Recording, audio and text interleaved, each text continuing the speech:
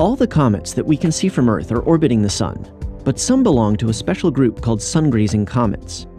Sun-grazers are comets that come very close to the Sun at their nearest approach, a point called perihelion. To be considered a sun-grazer, a comet needs to get within about 850,000 miles from the Sun at perihelion.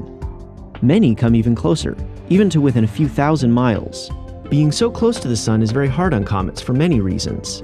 They are subjected to a lot of solar radiation, which boils off their water or other volatiles.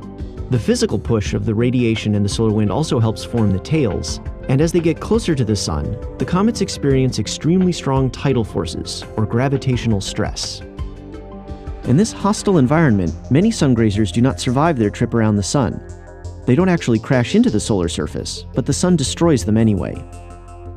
Many sun-grazing comets follow a similar orbit, called the Kreutz path, and collectively belong to a population known as the Kreutz group.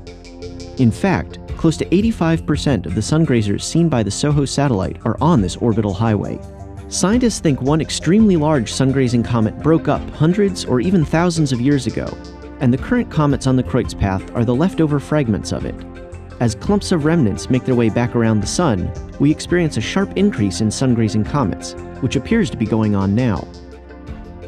Comet Lovejoy, which reached perihelion on December 15, 2011, is the best known recent Kreutz Group sungrazer, and so far it is the only one that NASA's Solar Observing Fleet has seen survive its trip around the Sun. Comet Ison, an upcoming sungrazer with perihelion on November 28, 2013, is not on the Kreutz path.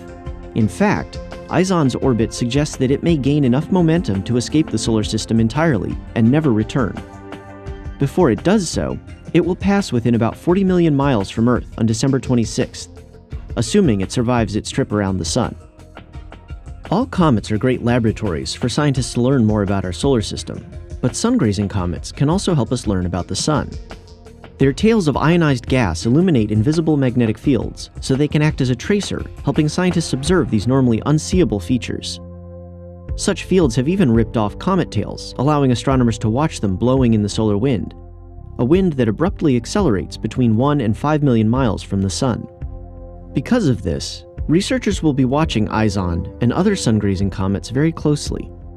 And since we are in a period of high sun-grazing comet activity, scientists can expect many more chances to watch these beautiful, natural research satellites in the coming years.